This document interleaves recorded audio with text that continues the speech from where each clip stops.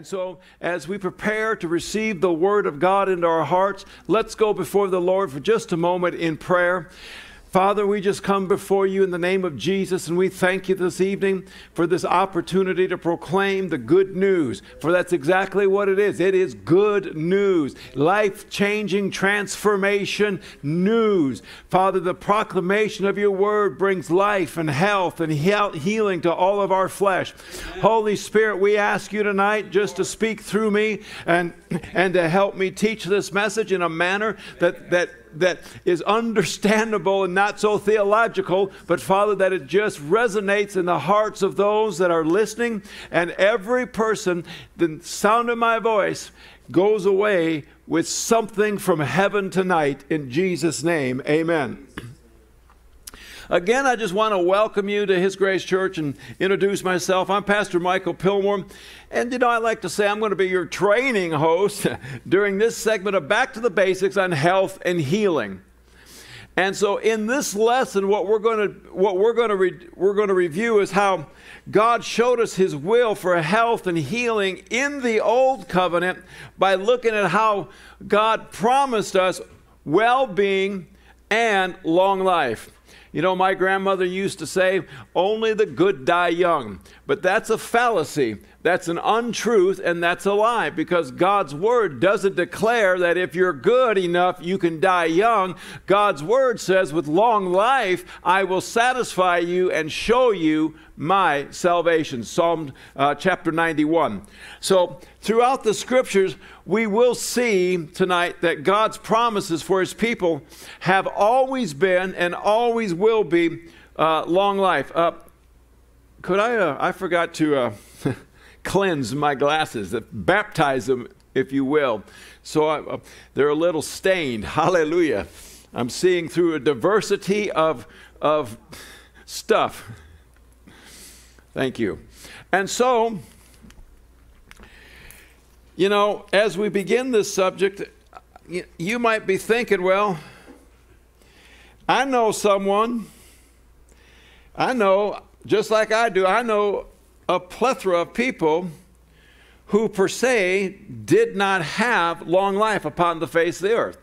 So, do we base our, uh, uh, our analysis on people's um, ability, or not the ability, but their, uh, how do I want to say this? Do we base our analysis on their facts, or do we base the, the, our analysis on the truth of the Word of God?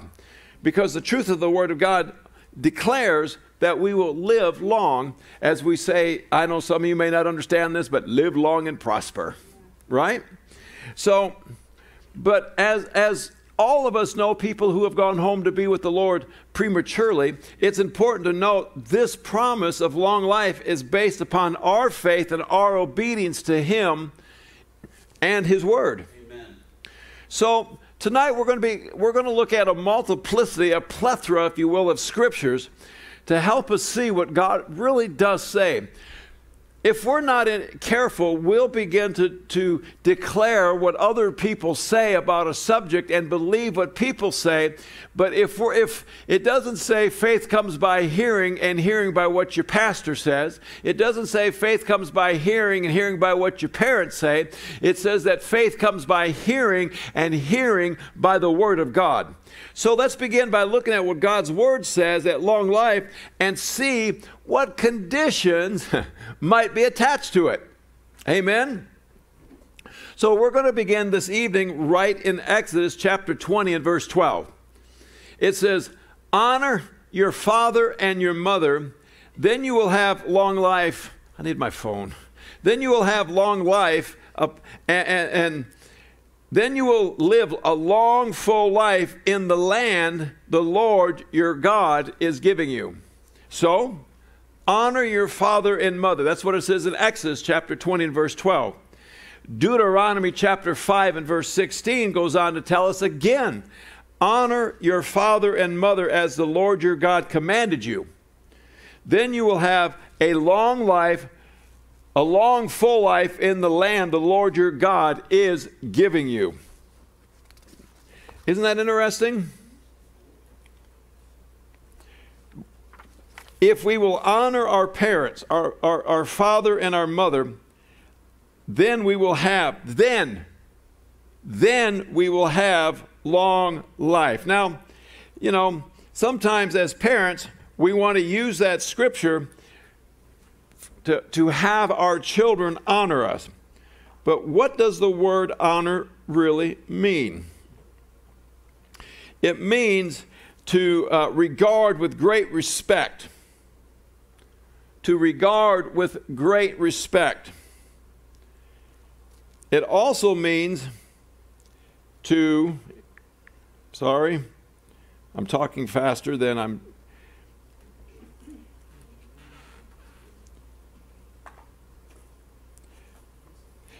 It's also can be um, a title of respect, a person or thing that brings credit. We honor our, our parents. Another word for honor might be respect. Something regarded as a rare opportunity and bringing pride and pleasure a privilege. Have you ever thought of your parents as a rare opportunity? As uh, uh, that's, that brings pride and pride and pleasure. That it's a your parents are a privilege. I don't know about you, but sometimes I didn't think my parents were a privilege, especially when I was a teenager. So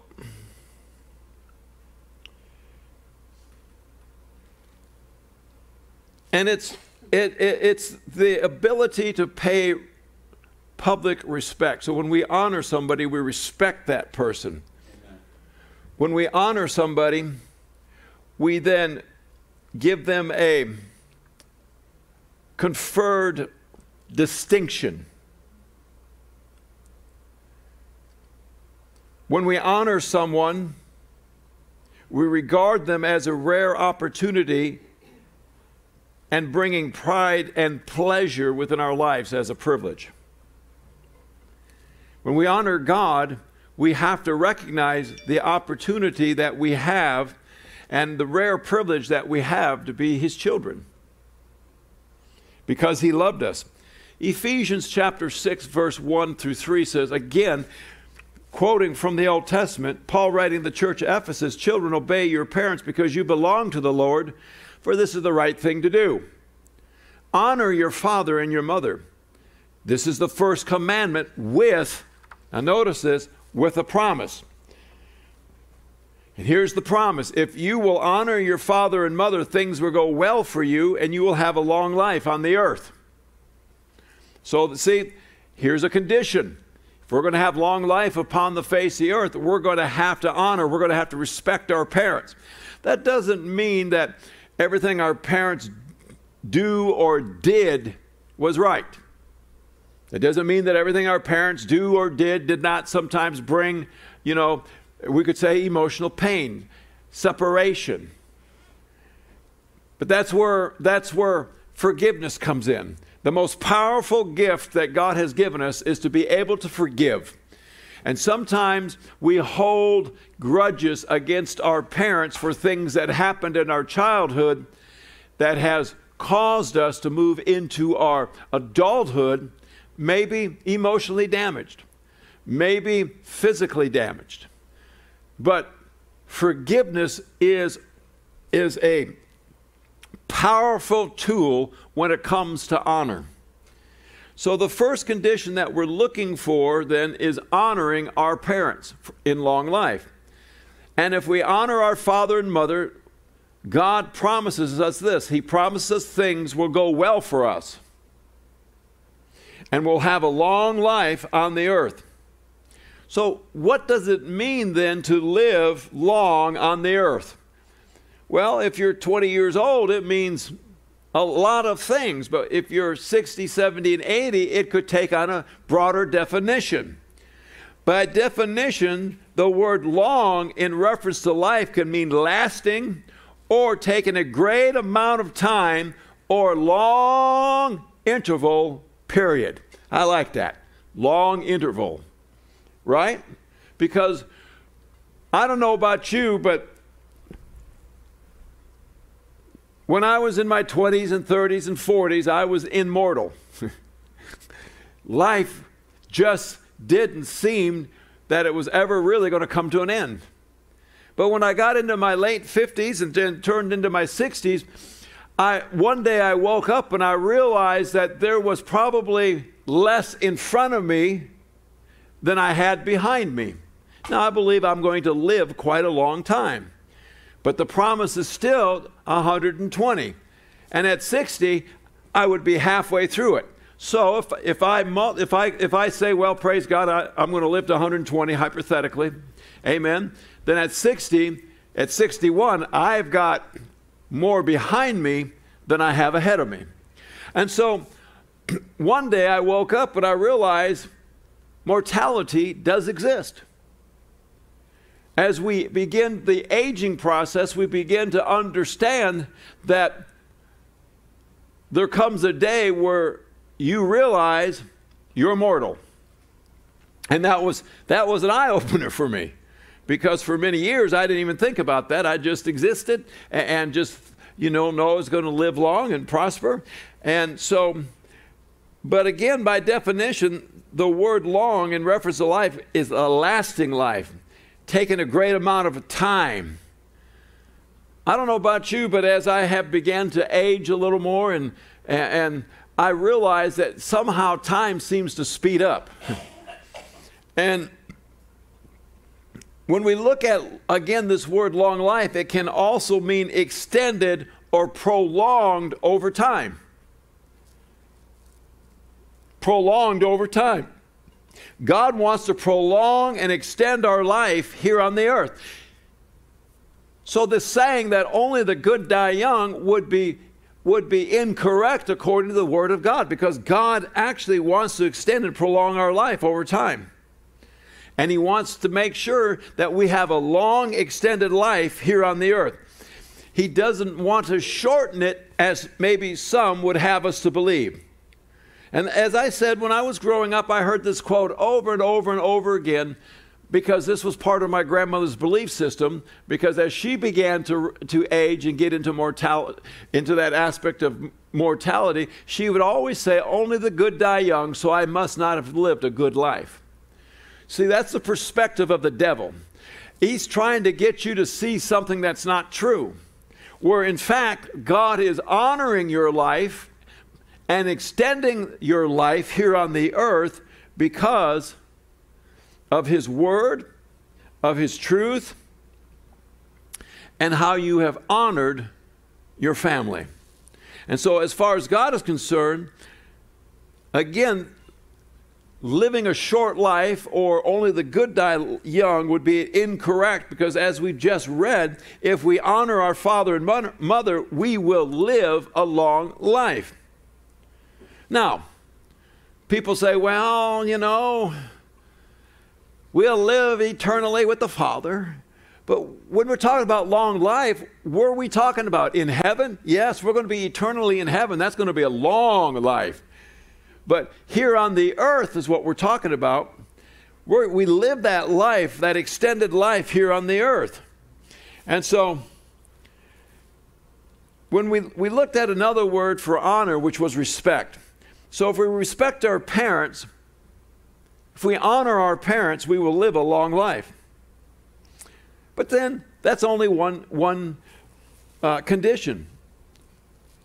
What might be another condition for long life? Well, how about obey the Lord's commandments and serve Him? Exodus chapter 23, verse and 25 tells us you must serve the Lord, oh, you must serve only the Lord your God.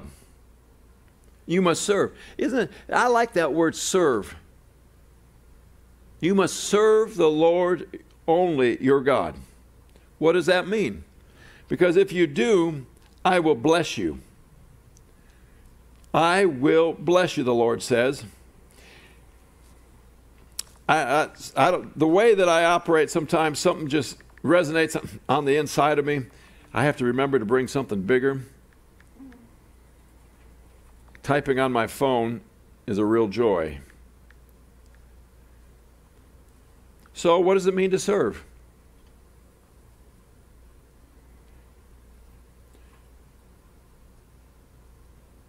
It means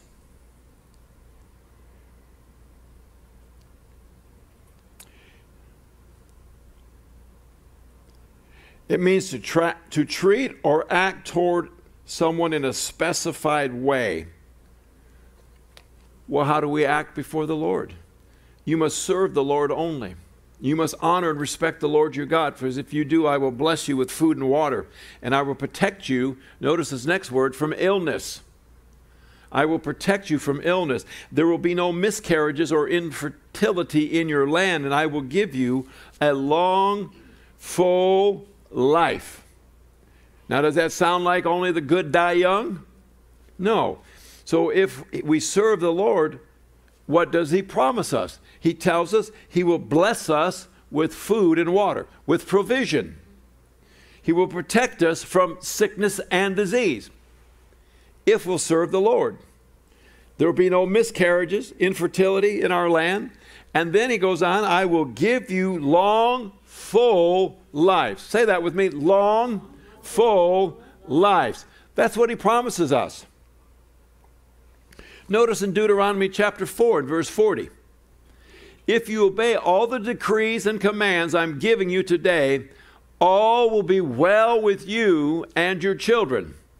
I'm giving you these instructions, so here's why I'm giving you these instructions so you will enjoy a long life in the land your lo- the Lord your God is giving you for all time. Oh no. God doesn't shorten your life, He wants to extend your life. Deuteronomy chapter 5, verse 33 says, Stay on the path that the Lord your God has commanded you to follow. Then Notice again, there's a condition to the promise. Stay on the path that the Lord your God has commanded you to follow.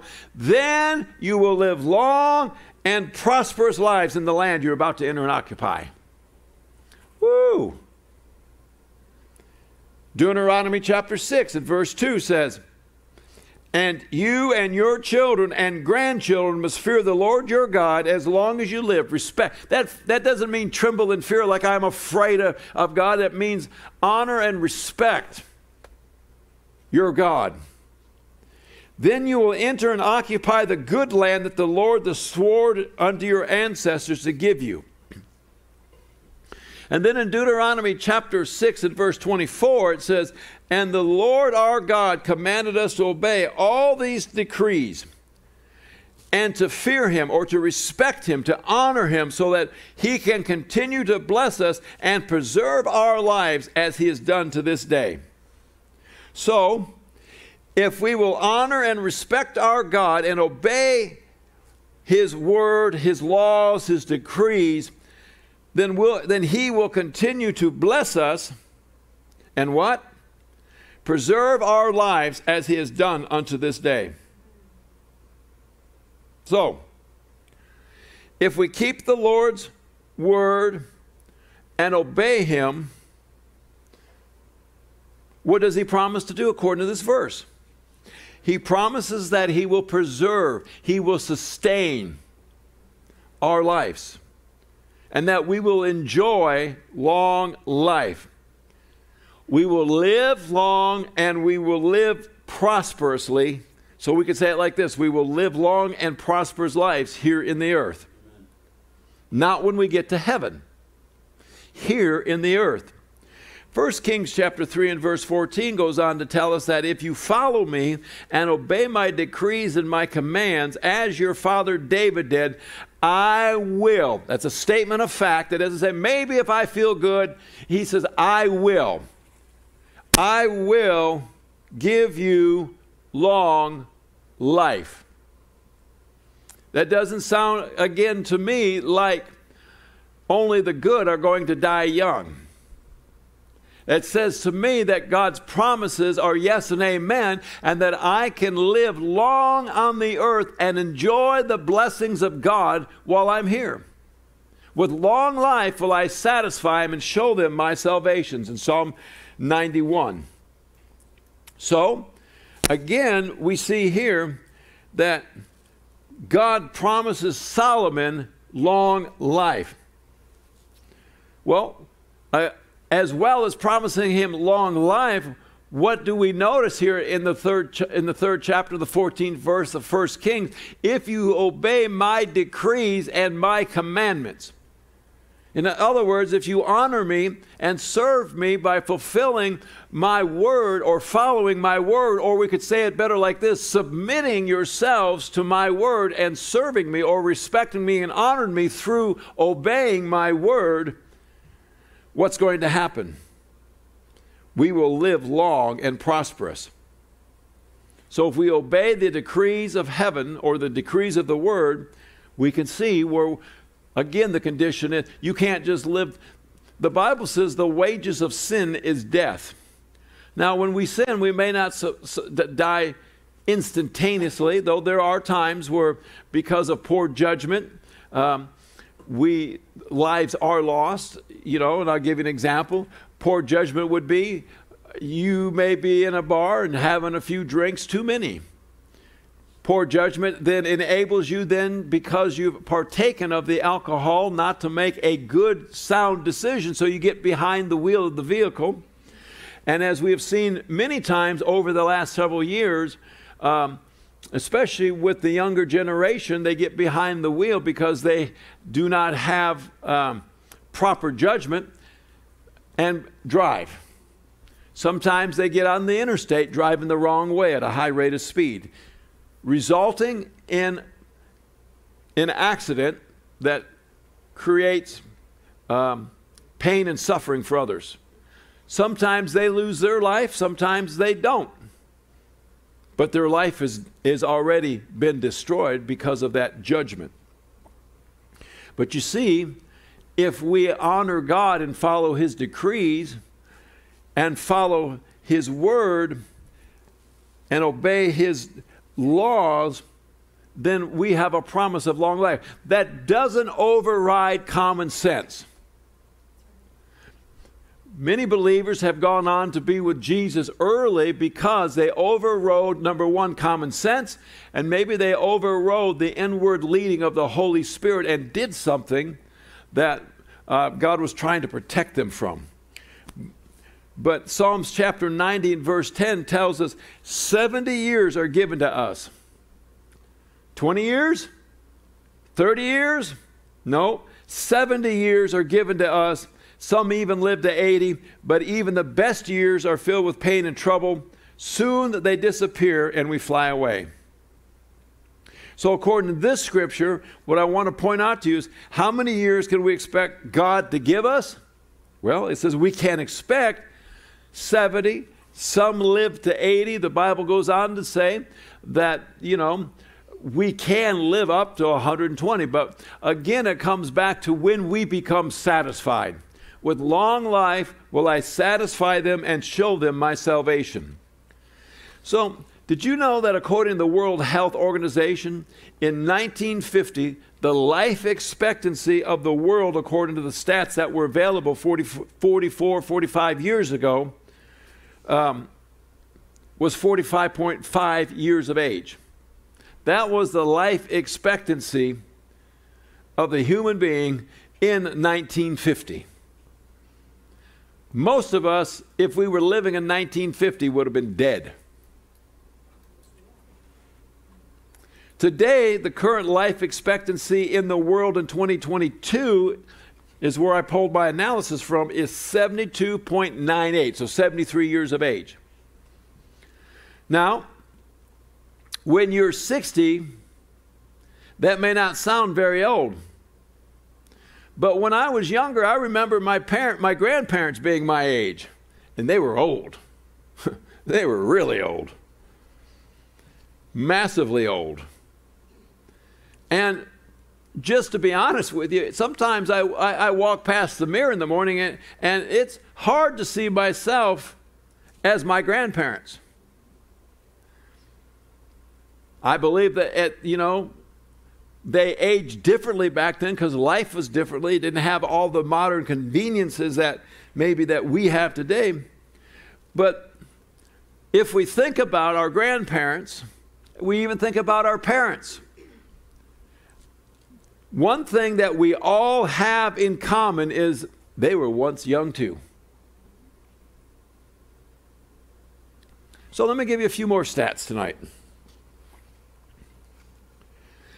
The 85 and older population is projected to more than double from 6.6 million, which was which what it was in two, uh, 2019, to 14.4 million in 2040, an increase of 118 percent. The number of persons age 65 and older in, uh, in, in 1900 were approximately 3.1 million. In 2019, the average jumped to 54.1 million. And by the year 2060, it is expected to jump to 94.7 million. See, as science has made vast improvements in the medical field, and really mankind is learning to take better care of ourselves, what's beginning to happen is our life expectancy has improved since 1950. 1950. So, again, the life expectancy or the average person, eight, 65 years and older in 1900 was 3.1 million. 6.6 million in 2019. But here's, here is something that is also just as important that long life is not all based on science, but as we've just read in our previous verses, honoring, respecting the Lord with our lives. And how do we do that? By following his precepts and his laws. Psalms chapter 91 and verse 16 says, I will reward them with long life and give them my salvation. So, what does God say? He will reward us. It's a long life is a reward that he gives us. So, would a long life with sickness and disease be rewarding? Would it be satisfying? How about even enjoyable? No, I don't think so. Do you? Would a life cut short by sickness and disease fulfill this scripture? With long life, I will satisfy them and show them my salvation. No, I don't think so either. Do you? Proverbs chapter 3, verses 1 and 2 says, My child, never forget the things that I have taught you. Store my commands in your heart store them. You know, I think about storage on a computer. I have a, I don't know, you know, there were there was a time in my life I didn't I didn't have a computer. And I remember my father-in-law had one of the first computers I'd ever seen. 1987. That thing had a total of 40 megabyte hard drive. That was it. Now, in today's reality, that's not much, but that was something back then. Now we're talking in terabytes. And yet we still fill our computers up. When our computer begins, gets so full, what happens? It doesn't run right. So we need more space. We need to free things up. But one of the great things about the computer, it has a, it has a hard drive where I store things and I can recall things. And the same is true with the Word of God. It says right here, never to forget the things I've taught you, store my commands in your heart. Place them in your heart. Just like your operating system, just like your, your, your hard drive. You need those laws and precepts stored in your heart so that you can have the availability to pull them back out when necessary. When I need a file, I go into the hard drive where it's located, I pull it out, and it pulls up on my screen, and I begin then to use that particular file.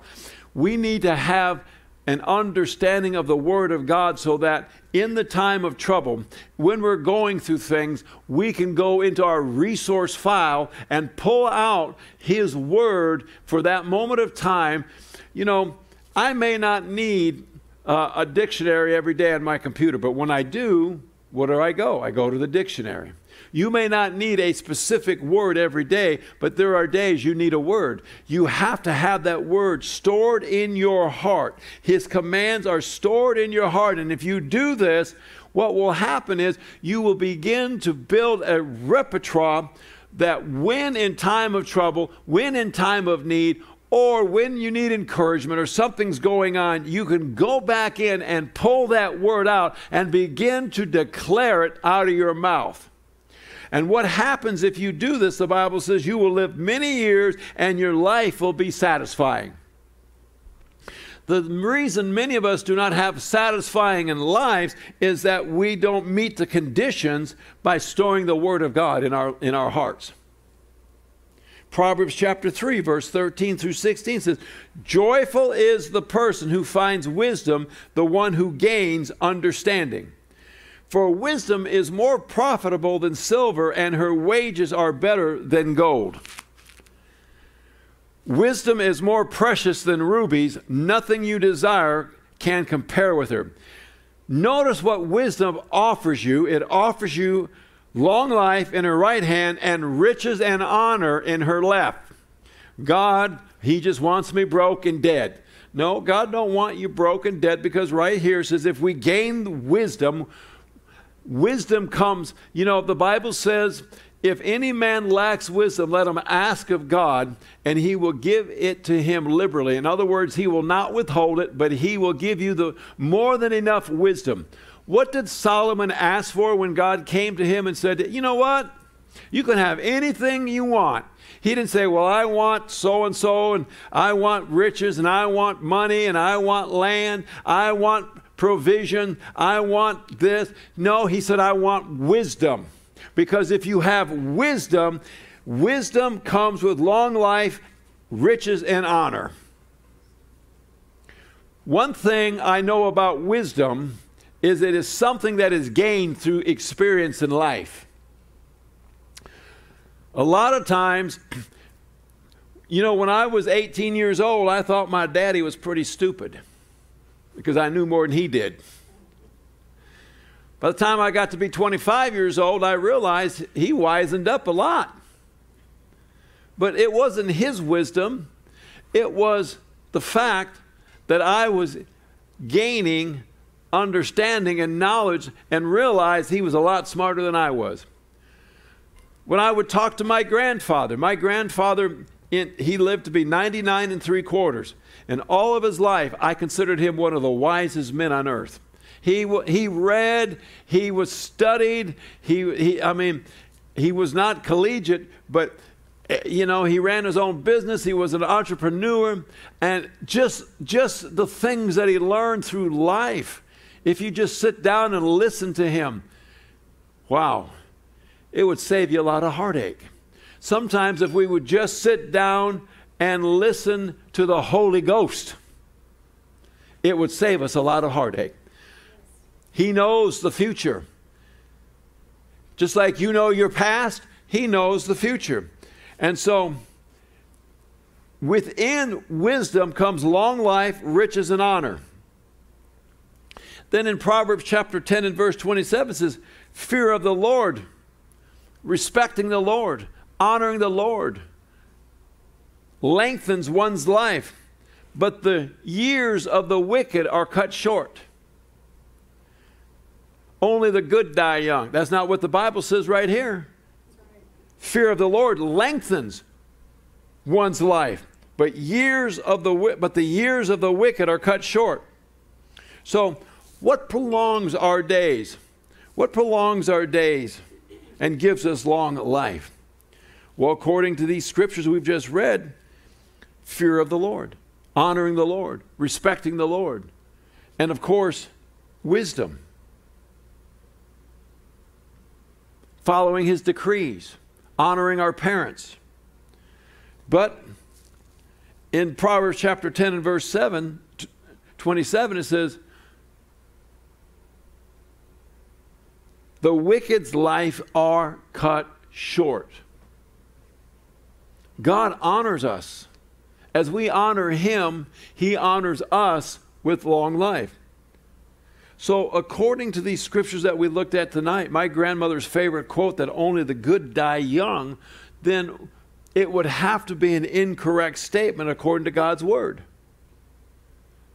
Because if I'm good, let me, let me say it like this. Because of who I am in Christ, I'm in right standing. So I am the righteousness of God in Christ Jesus. When we come back to the Word of God in Proverbs chapter 3, verses 1 and 2. My child, never forget these things I've taught you. Store my commands in your heart.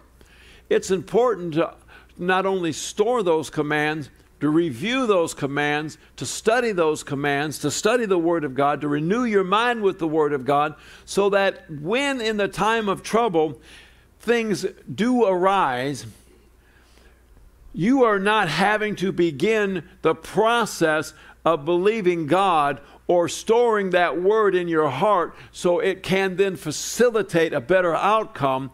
That better outcome is facilitated because you are pulling off the source already that's in there, the Word of God. The Bible says if that same Spirit that raised Jesus Christ from the dead lives and dwells on the inside of us, He's going to quicken and make alive our mortal bodies. It's important for us to store His decrees, His laws, and His Word in our heart well before the time that we need it. Because what I have found as a pastor, there are times where, where life threatening situations do arise, whether in your body or in your life, and because you have not taken the time of preparation, you have not taken the time to store God's word in your heart.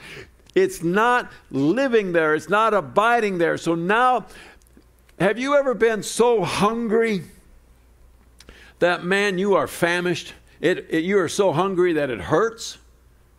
You've gone beyond. In fact, you're so hungry, maybe you're lightheaded. You know you've gone beyond the point that you should have gone. And so, what do you try to do? Is you try to, to eat very quickly and to fill that void. But in doing so, sometimes what happens is that you've gone so long and you're so famished that by the time you get to the place where you're satisfied, you can almost eat yourself sick or you just don't have the strength necessary. That's sometimes true. There's a time of preparation. And when it comes to meal preparation, sometimes you have passed, it takes you too long to be able, like a diabetic, they have to eat regularly to keep their blood sugar stable. And at, you know, and if they eat too much of the wrong food, it goes too high. But the other side is if they don't eat consistently and consecutively, their blood sugars may drop, and they may drop to a life threatening degree before they can get it corrected. Now, there are things out there that help us to, to you know, little tablets that can instantly raise your blood sugar. But the point is, had they, they had lived uh, according to um, the process necessary of food preparation, eating on time, taking care of that, that need, there wouldn't be such a regulatory up and down of their blood sugar, which becomes unhealthy. The same is true with the Word of God. If we will store that Word in, you see, when we, when we partake of food, we store things into our body. We store the sugars, we store the glutens, we store all this stuff that I don't know nothing about. I'm not into health, but I do know that you can maintain some sort of a regulatory condition with your sugars by eating properly. And so, when we come to the Word of God, and if we don't do that, then, you know, we we are going to do this and it may become unhealthy. One moment you're too low, then the next moment you're too high. There has to be a balance in our eating style and our eating habit to keep our blood sugars uh, in a normal, productive range. The same is true with the Word of God. There has to be uh, a balance in how, you know, as, as we don't ever, listen, if we don't ever eat food, we're going to get really hungry and we're going to lose weight, we're going to become unhealthy, and things are going to go array for us. So, God has sustains us through the different avenues of, of, that we have available in a lifestyle of eating, not overeating. The same is true with the Word of God. If we don't ever put any, any word in us, there'll be nothing to sustain us in the time of trouble, in the time of need. Sometimes, you know, if you don't eat properly, you get up to go out to do a job or something, you may get faint, you may get lighthearted, you just may not feel well. It's amazing to me how sometimes if I don't eat or I skip a meal, sometimes I just forget to eat. I try not to, but what happens is I, I, I, I, may get to doing something and feel not just li- not lightheaded, but just lackadaisical, don't have any real energy, don't really feel all that great. Then I get that food in me, it's all of a sudden, whoo, let's go, let's do this. And the same is true, um, the same is true with the Word of God. It sustains you, it empowers you, it strengthens you, and then it keeps you steady. So, in the time of trouble, in the time of need, when things are going on, you don't have to be cramming per se. You can be letting what's already inside of you just percolate and give you the energy and encouragement or whatever is necessary at that moment at the time to sustain you through the, through the trouble. Does that make sense? And so, long life is something that God has already promised us. My favorite scripture, again, is Psalms chapter 91, verse 16. I will reward them with long life, and I will give them my salvation. I will satisfy them with a long life. Kenneth E. Hagin is a uh, a teacher that I have followed all of my adult life since. One of the things I heard him say over and over again you'll know when I'm gone, I got satisfied. So, with long life, I will satisfy. So, does that mean that we know when we're going to die? No. No, we don't know the day or the hour, but the Bible says that with long life, I can hold to the fact that I will live long on this earth and I will prosper according to the Word of God if I honor God, if I reverence God, I put His decrees in my heart, and I follow His Word. Amen? So, again, only the good die young would be an incorrect statement if, if that's something you've been saying because the Word of God does not facilitate that as a promise. The Word of God facilitates long life upon the face of the earth. I will reward them. I will honor them with long life and give them or satisfy them with my salvation. Now, uh, next week in our next lesson, as we continue to look at God's uh, the basics on health and healing, we're gonna we're gonna look at how God's redemptive work then was accomplished through Jesus Christ. So, this is going to conclude our lesson on back to the basics on health and healing and how God promised us well-being and long life. I'm Pastor Michael Pilmore. Thanks for watching.